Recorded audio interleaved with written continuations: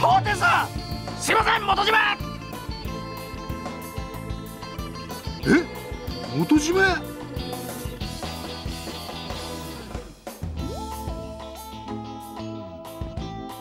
ああのー、少し待っていただければちゃんと耳揃えて払いますんで今しばらくご猶予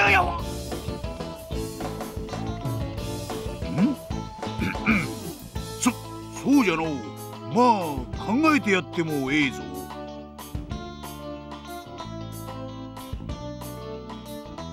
ほ本当ですか？おお人間誰しも過ちはある。大事なのはそれを何度も繰り返さないことじゃ。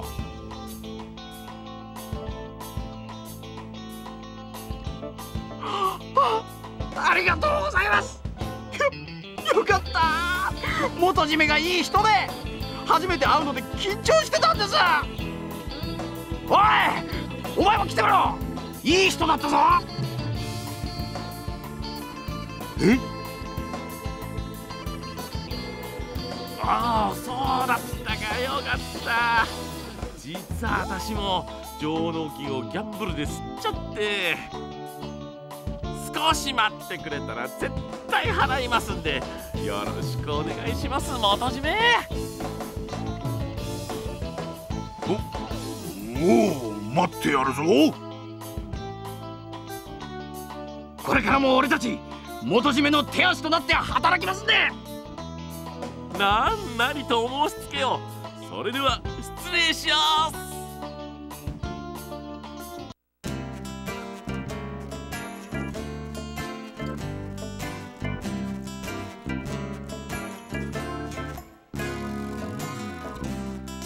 向こうが勝手に勘違いしたからいいんじゃな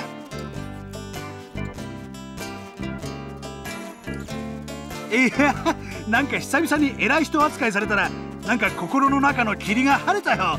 万事解決だ。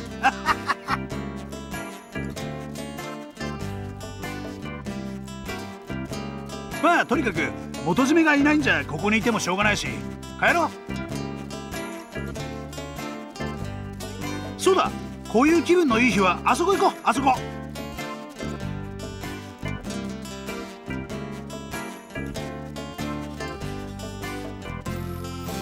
こういうハイな気分の日は勝つんだって。今までの経験上そうなの。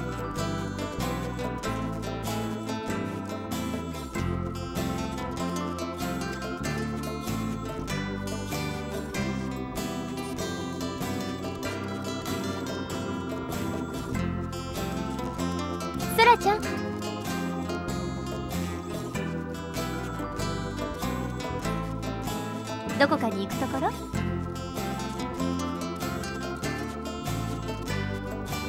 やっぱりそうだったのね。じゃあ私と一緒に行きましょう。実はゴリいえ近藤さんにお願いしてキャサリン捜索のために新選組を動かしてもらえることになったの。ゴリいえ近藤さん曰く新選組を総動員してくれるそうよ。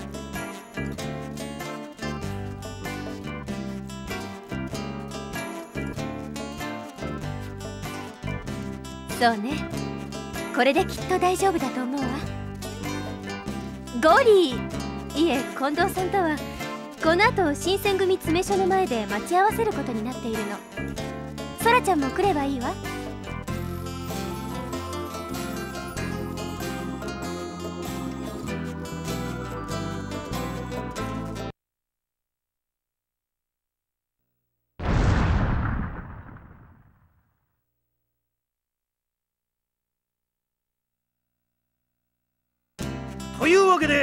我々新選組はおたえさんたっての頼みでキャサリンを探すことになった。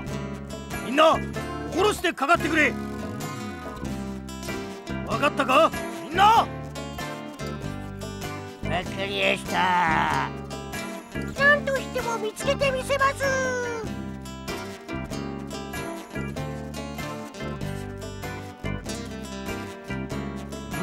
そうか？おいみんな！そうなのか？ここにいるじゃないですか。そりゃ普段から近藤さん土方さん沖田さん山崎さん以外存在感薄いけど一応いるんですよ。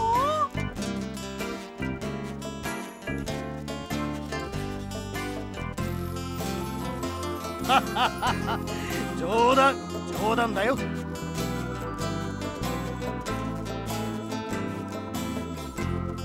だからここにらあなたを腹話術の人形にしてあげましょうか。お尻から手突っ込んで奥歯ガタガタ言わせてあげるわよ。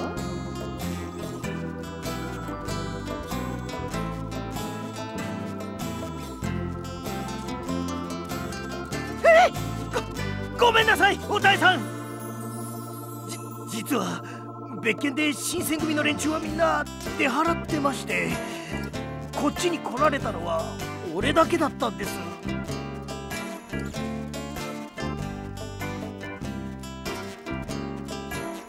すすまん。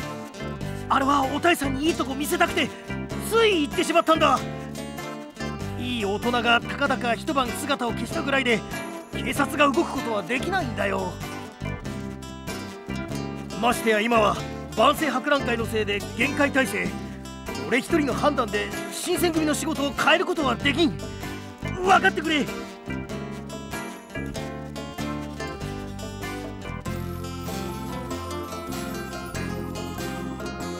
あれじゃあ証拠にはならん。ただそこを取り掛かって落としただけかもしれないからな。そらちゃんおやめなさいな。ゴリいえ近藤さんの立場も分かってあげましょう。この人は私たちだけではなく江戸全体のために働かなきゃならないの。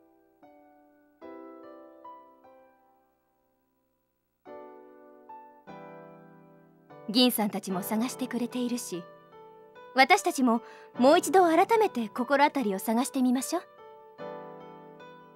みんなで力を合わせればきっと見つかるわ。きっと。待ってくださいおたえさん。確かに新選組は動かせなかったがこの俺は近藤勲という一人の男はおたえさんの味方です。俺はおたえさんと一緒に行きます。ゴリ。いえ近藤さん。でもそんなことをしたらあなた上の人から睨まれてしまうのではないかしら。構いません。たとえ謹慎処分を受けようが減給になろうが廊下に立たされようが俺はおたえさんのためならそんなことへでもないんです。だからだから俺と結婚。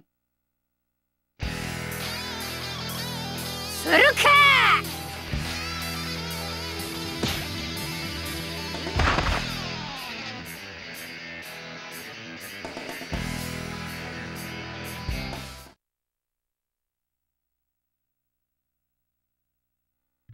なるほど。よろずやがキャサリンのかんざしを見つけたのはここか。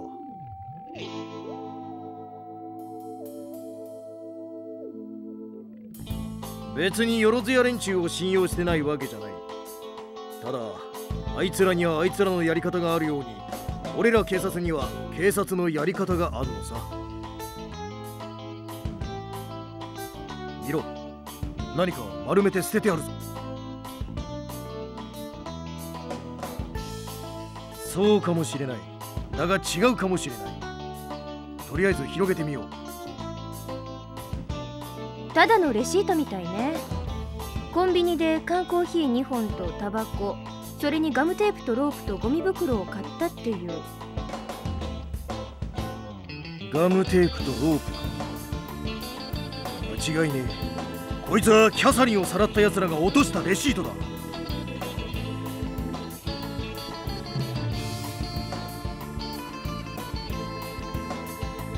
じゃあゴミ袋は？もしかして縛ったキャサリンさんを運ぶため？かもしれませんな。そんななんてこと？全くです。人をゴミ袋に入れて運ぶなんだあんな重たいもの運ぶのにビニールのゴミ袋使うなんて何重にもしないと破けちゃうわ。で心配してるのそっち？キャサリンのことじゃないの？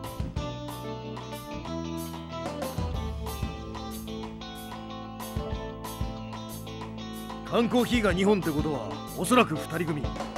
タバコを買ったのは退屈しのつまりしばらく待ち伏せしてたってことだ。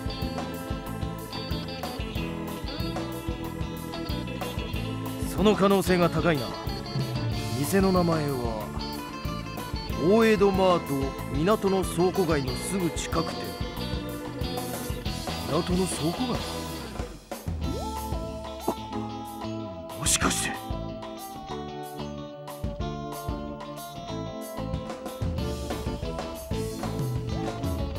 最近怪しい奴らが港の倉庫街に出入りしてるっていうんで山崎に張り込ませて。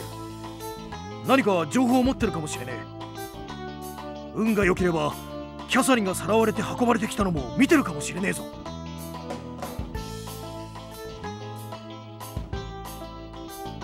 今すぐ話を聞いてみましょう。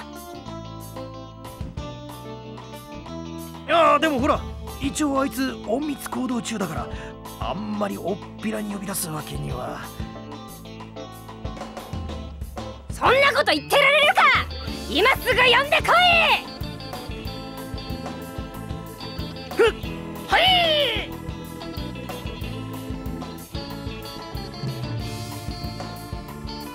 ちょなんすか近藤さん?任務中に勘弁してくださいよ!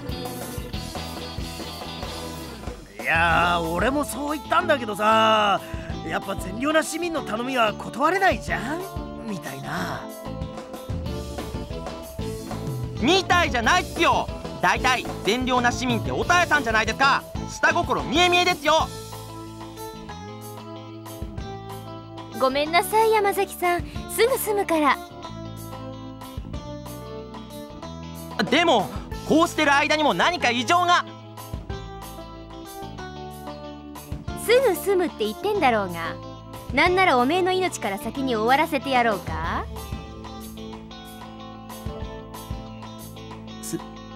すみません。どうぞ。何？話は簡単だ。スナック落とせにキャサリンっているだろ？張り込みしてる時あいつを見なかったか？は？キャサリン？いやほらあの猫耳でおかっぱ頭の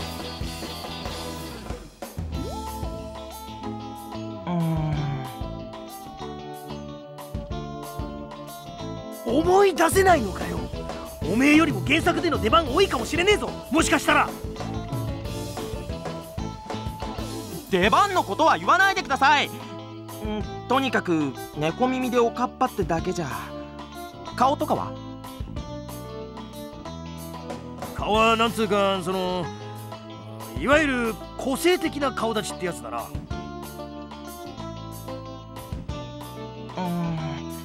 個性的な顔って言ってもいろいろあるからな。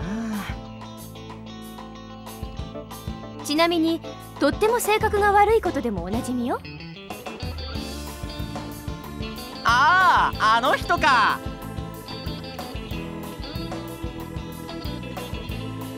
でも見てないっすよ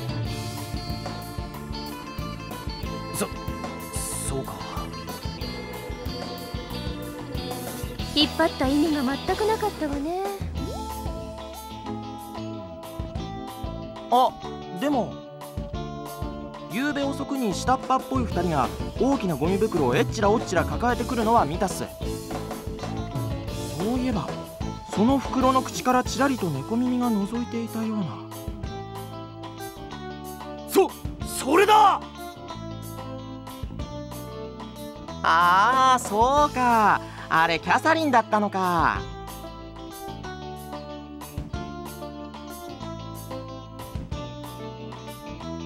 いやー猫耳アイドルの等身大フィギュアかなと思っちゃって。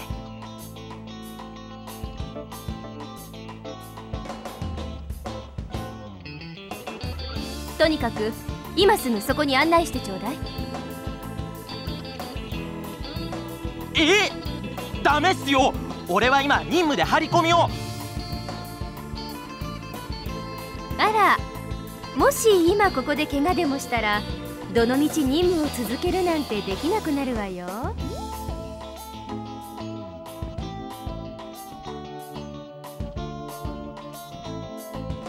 ええー、でも近藤さん。ああゆり子くんすまんがお茶入れてくれる？え？おめえの方が暇なんだから自分で入れろ。あそれもそうだね。だダメだ！窓際族になってしまっている！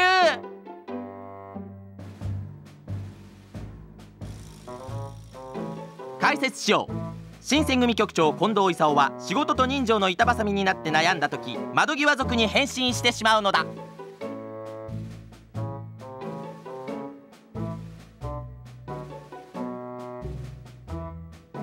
誰に？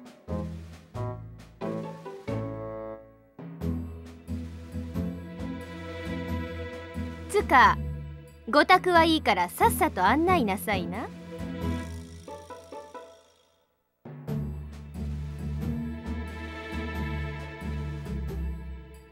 近藤さんがこのありさまじゃ仕方ないな。分かった。案内するよ。けど任務の邪魔はしないでくれよ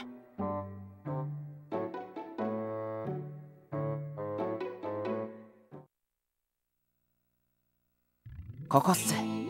キャサリンさんらしきゴミ袋はあの奥の倉庫に運ばれていきました。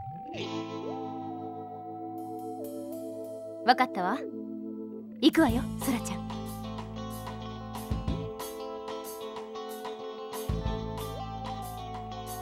もちろんよ。それ以外に何かあるの？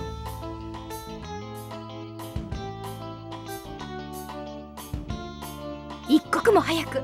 キャサリーを助け出さなきゃならないでしょ？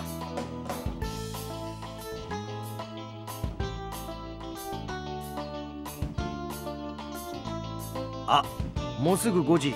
会社が終わる時間だ。立ち飲み屋で引っ掛けていこうっと。うちに帰っても娘に蔑んだ目で見られるだけだし。まだ窓際族のままです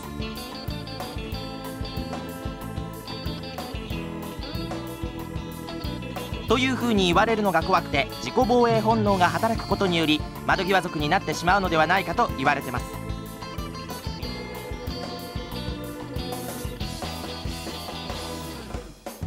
正面突破行くぞ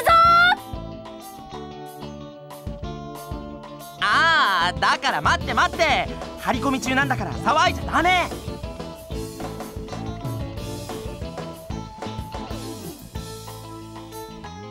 それはそうなんすけど騒ぎにはしたくないんすよ。この後の張り込みも続けられるように。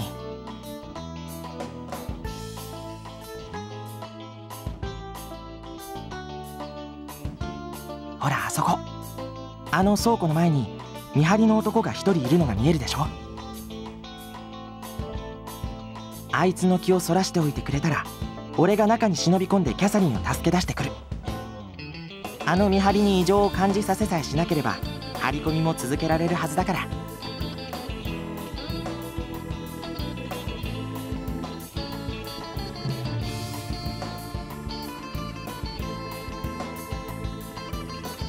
おたえさんもそれでいいですね。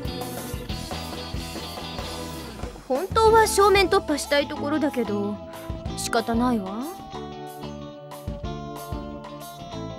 じゃあ見張りの気をそらせる役はおたえさんとそらくんでお願いします。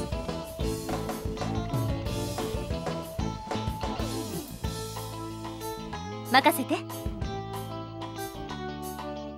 それでは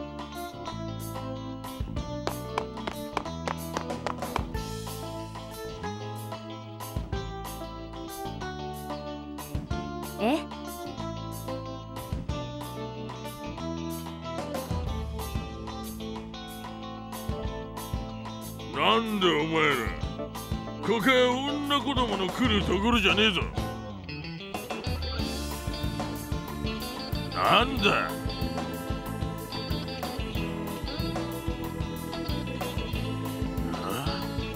なんだお前。帰れ帰れ。